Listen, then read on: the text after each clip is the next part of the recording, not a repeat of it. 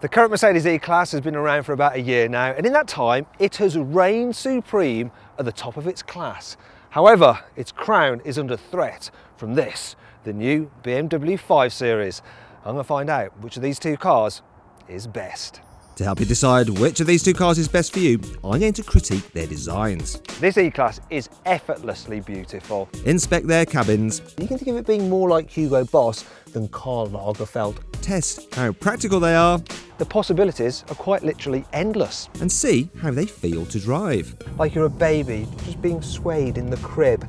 But first, let's talk about numbers. The Mercedes E-Class starts from £35,160, while the BMW 5 Series starts from £36,165. But what matters most is the actual price you pay at a dealer. You can go to carwow.co.uk where you can save an average of £3,334 on the 5 Series or £5,877 off the E-Class. So then, in terms of pricing, it's first blood to the Mercedes. But what about the styling? I'm really loving Mercedes-Benz design at the moment. This E-Class is effortlessly beautiful. In fact, it even looks good in boring burgundy. I think I must be getting a bit old.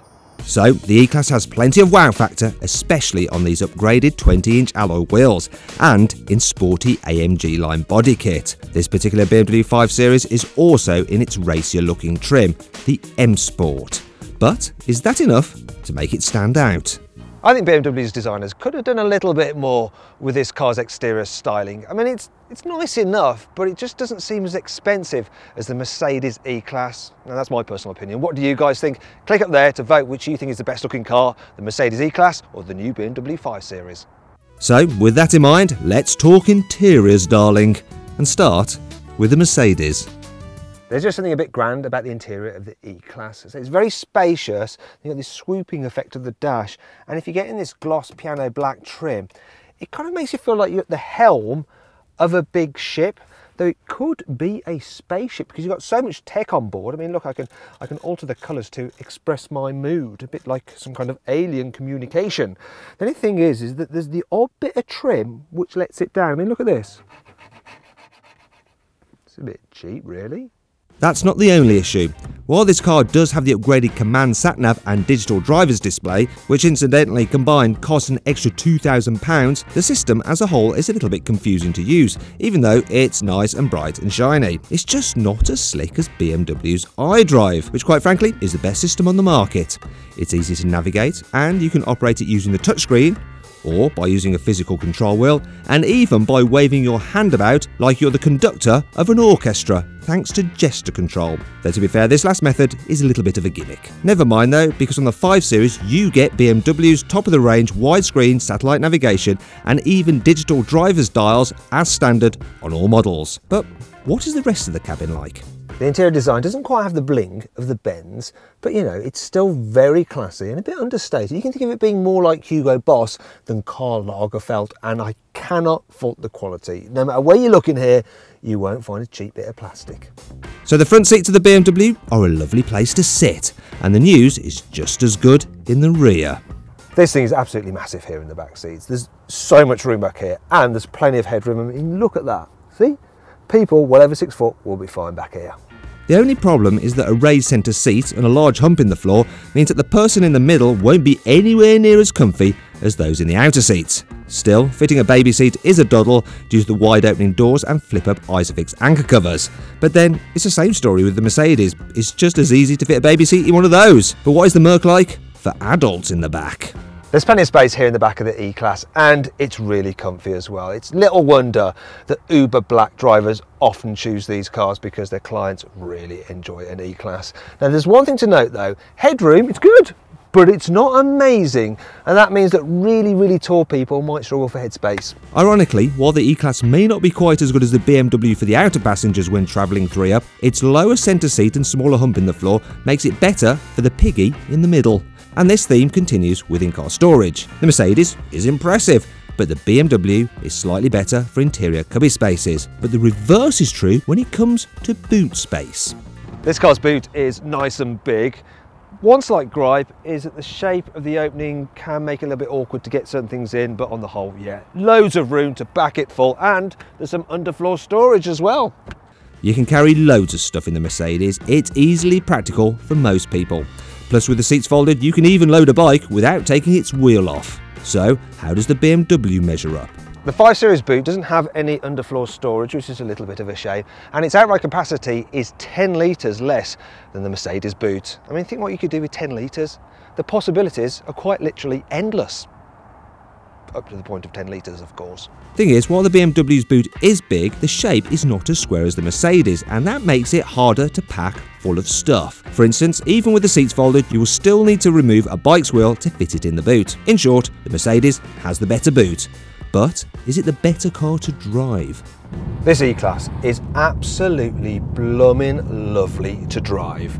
I mean, it's set up with comfort rather than sportiness in mind. But that's no problem. That's what these cars are supposed to do, and this Mercedes does luxurious and comfort very well. Now, I should point out this particular car is riding on the £1,500 optional air suspension, and just feels like you're floating down the road. It does this lovely little kind of rocking side to side over bumps, like you're a baby just being swayed in the crib.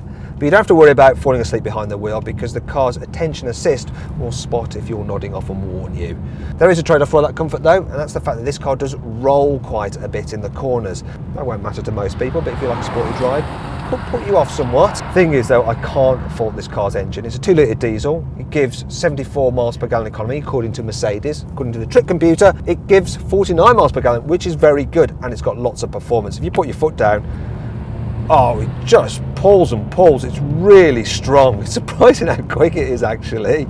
And the 9-speed gearbox, which is standard, that's really nice at slushing gears together. It's not the quickest to respond, but it's fast enough. So then, the Mercedes is a majestically comfy, quiet and effortless cruiser. But what is a BMW like? Now jumping from the Mercedes into this, there is a noticeable difference. This BMW definitely feels sportier. It actually seems like a smaller car because of the way you sit in it. You don't feel like you're at the helm of a big boat. And the benefit is that it is more fun to drive. The car just doesn't roll as much in the corners at all. The steering feels sharper. It doesn't have much feel really, but that's only a concern of motoring journalists. Most people won't care. The fact that you can hold this car through some bends better than the Mercedes will matter to some people, but there's no way in this class that people are going to take handling over comfort. And normally that's where the BMW would fall down slightly, but with this new 5 Series, it's like you can have your cake and eat it. Handles well, and it's also really comfortable. Now, this car is on the optional adaptive dampers. They're about a thousand pounds. It's not air suspension like in the Mercedes, so you don't get that kind of relaxing rocking effect, but it still irons out bumps in the road just as well. I think this car is as comfy as the Merc and it has the added benefit of being more fun at the same time. As with the Mercedes, you get an automatic gearbox as standard, though this one has eight speeds, and I think it is a bit more responsive than that in the E-Class. In terms of the engine, I've got two litre diesel once again. It can do, according to BMW, 68 miles per gallon, though this computer says I'm doing, I'm doing 43, which isn't quite so impressive. The engine itself seems rougher than the one in the E-Class, and I don't think it's got quite as much performance, but let's see. What I need is the Mercedes back, so here we go.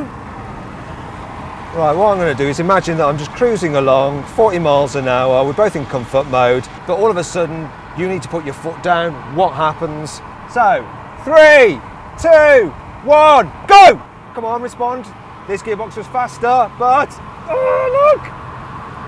He's got the lead on me just about and he's pulling away. I think that's the end of that. Well, I think that was pretty obvious. This gearbox did respond quicker than that one, you could tell, but that engine has more performance. It was slowly edging away, and that would matter. That would matter a lot out in the real world. I'll be feeling a little bit disappointed about my BMW right now. Fortunately, that sinking feeling will soon pass because the 5 Series is a very, very good car. But is it better overall than an E-Class? Well, I tell you what, this, it's a really tough one to call. These cars are so closely matched that really there is no wrong choice. But if push comes to shove, I'd have to say that while the Mercedes is super lovely, I think the BMW is a slightly better all-rounder And that's why it wins this test. Please like, share and comment on this video and click on our logo to subscribe.